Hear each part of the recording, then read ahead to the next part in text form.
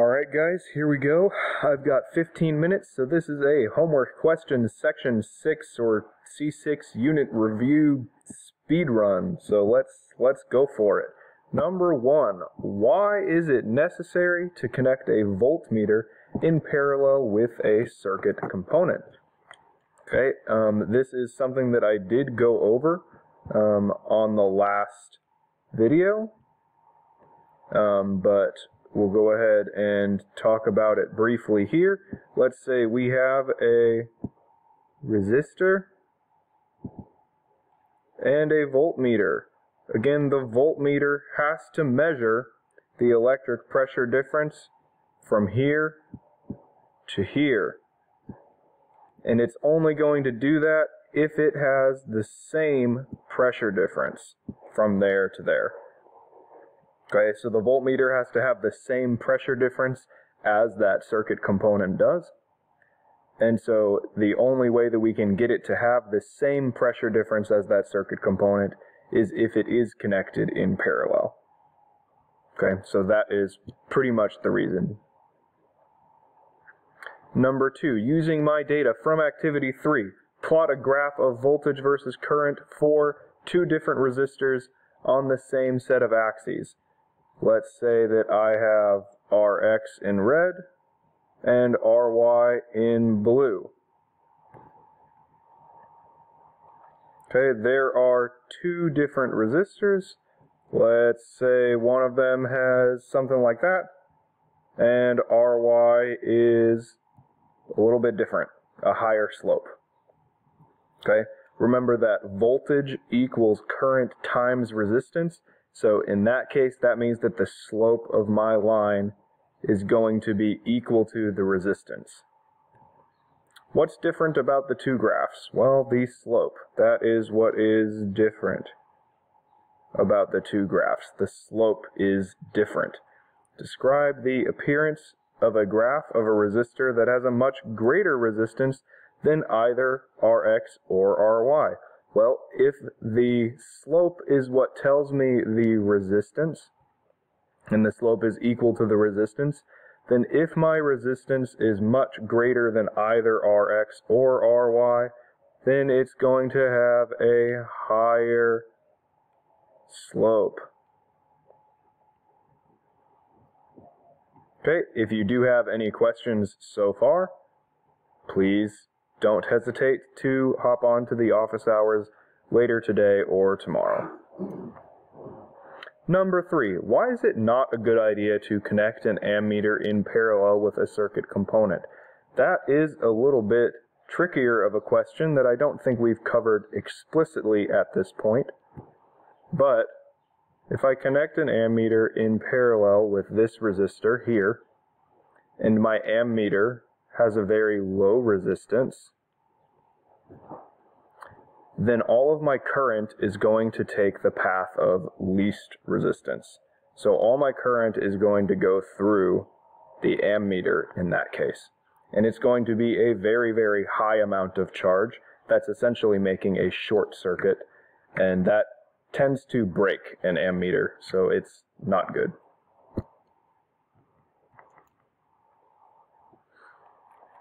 Okay, number four um, is this big circuit right here, and we have to fill in these voltage values. While you do this, um, the main thing that you have to keep in mind is Kirchhoff's voltage law, or Kirchhoff's loop rule, as we sometimes call it, which says that if I have a loop like this one, the voltage drop across each resistor has to be equal to the voltage rise across the battery. So if my battery gives me 4.5 volts, then between these three bulbs, I have to use 4.5 volts. Since each one of them is the same, all three of those are going to use the same amount of that voltage. So each one of these is going to be 1.5 volts. Uh, 1.5 1.5, and 1.5. If we add those all together and we start from here and we go all the way down here, then that should add all the way up to 4.5 volts. the same as our battery. If I color coded it, it would look like this.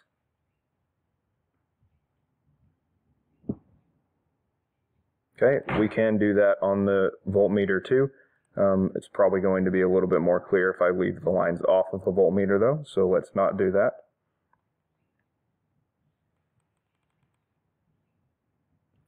Okay, um, these ones are going to be somewhere between orange and yellow and green and yellow. Um, see, we have three bulbs, but regardless, we know that the jump from red to this orange and from this orange to this green as we have it shown here, that's going to be a drop of 1.5 volts for this circuit. Okay, from red to yellow on these round bulbs, that's going to be just half of this. Again, it does just have to um, total up to 4.5 volts. Since these are two identical round bulbs, we're going to split that evenly in two pieces. So each of these is going to have to be 2.25.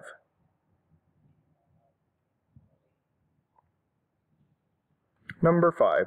Based on my experience, describe how I know that a battery is generally a source of constant electric pressure difference.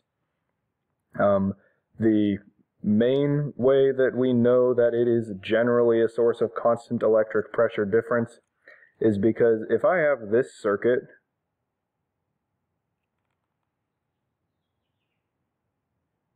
okay, with just one resistor, as opposed to this circuit,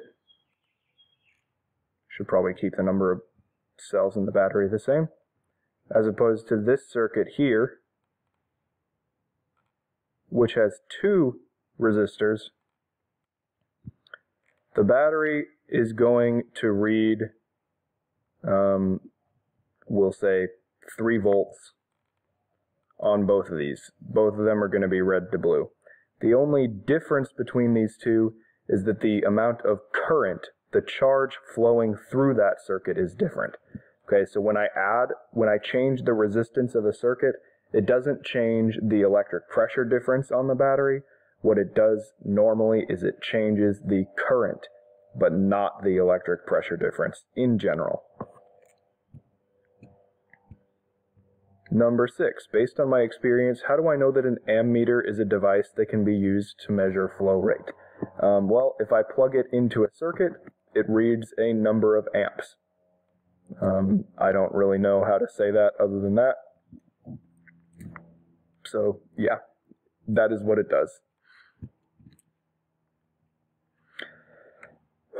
Number seven, about halfway through my speed run here. Consider the circuit at right, which contains five identical bulbs. Okay, one, two, three, four, and five. Is the current greatest through points X, Y, or Z, and where is it least? In order to do this one, what we have to think about is the resistance of each one of these branches. Um, you see that each one is a point in its branch before it connects to this wire down here, the trunk wire. Okay, so we are just looking at the current through each branch here. X is our kind of control branch. This is our just one bulb by itself.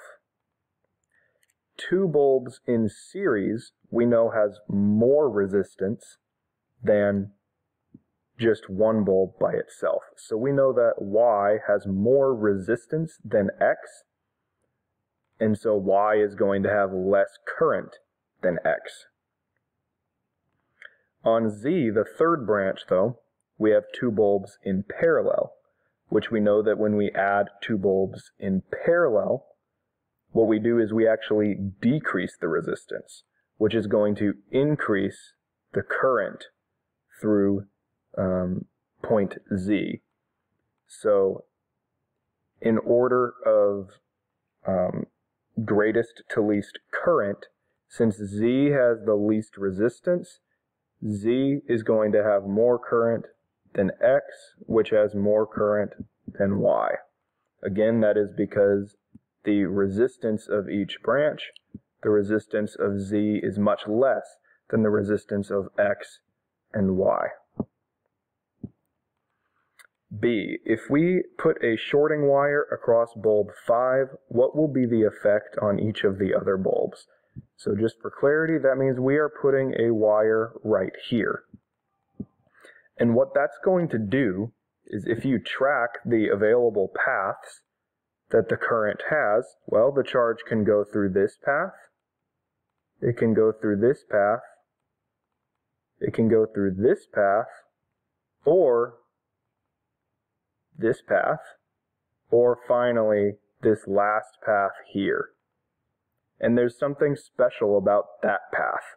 With that shorting wire placed there, this path that I have highlighted right now has zero resistance. Since this path has zero resistance, all of the charge is going to go through this path. None of the charge is going to go through these other paths because those paths do have some resistance. But this path right here has no resistance, and so all of the charge will go through that path, and all of these other bulbs are going to turn off. Contrarily, if we put a bulb right here at point P, then what we are doing is we are putting a resistor right here. Okay? And so that means that when I have this loop, if I think about Kirchhoff's loop rule, if I have that loop right there, then this right here, that bulb is going to take some of the voltage from each of these loops that we can make. Since that bulb is going to take some of the voltage of each of those loops, it's going to actually decrease the electric pressure difference for all of the bulbs and make all five of the bulbs get dimmer.